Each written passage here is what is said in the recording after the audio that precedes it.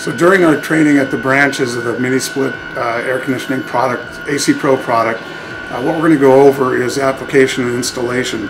As you can see, we've got a full working demo here uh, of all of our different mini splits, our multi-zone units, our multi-port, multi-zone, single port, multi-zone, all the different product line that uh, the AC Pro systems uh, can uh, do.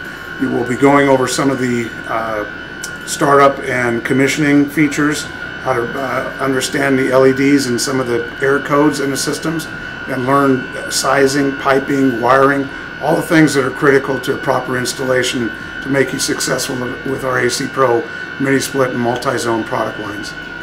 We welcome you to join us. Classes are free and dinner is included. To see dates and locations, visit acpro.com forward slash train and register to secure your seat today.